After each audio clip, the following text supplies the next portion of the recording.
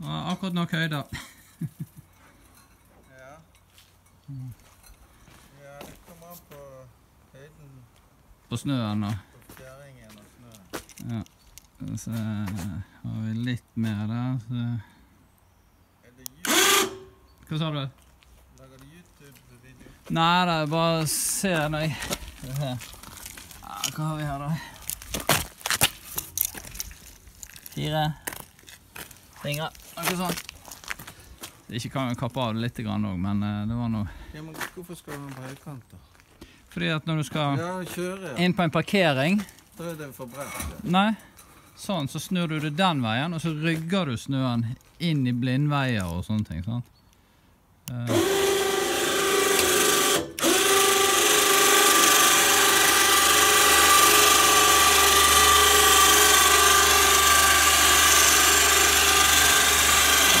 Selvfølgelig, Sånn. ja. Sant? Så skubber du det inn på en sant? Ja, ja. Når du ikke blir kvitt snøen, så kan du rygge det inn i en Ja, ja, det er jo ulempen med å ha bak. Ja, det klarer du normalt ikke på en bakmontert, men med denne så skal du klare begge deler. da. Hva, det er ikke på vanlig hengerfeste, det her.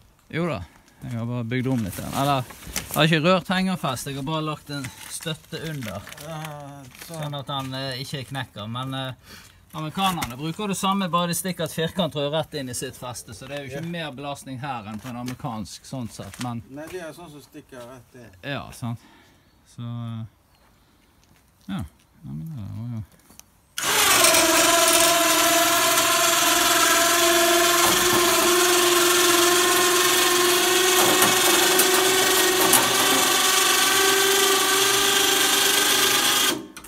Sånn. Da Ja, kan men den, eh, nå skal han snurre seg, altså. skjønner du? Nei da, jeg har tannhjul der.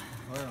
Og skal jeg sitte på et kjede her, og så en vindusviskermotor her nede. Så er det en fjernkontroll inni bilen som styrer den med. Ja, ja. Og da kan jeg snurre det sjøl mens jeg kjører, og så senker det ned igjen.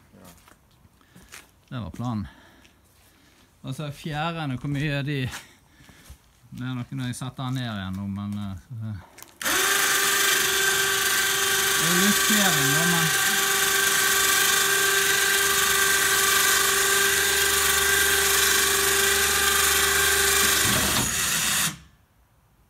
Ja, er ikke mye forskjell han Ja, løfter seg. altså på fjerne forbi? Ja, at han løfter seg. For jeg ser ofte sånn pickup-trucker i USA, så ser du de løfter seg 5-10 cm når de slipper ned skjæret, for det er så tungt på Ja, ja, fjærene. Men den har jo luftfjære, så det er bedre på denne.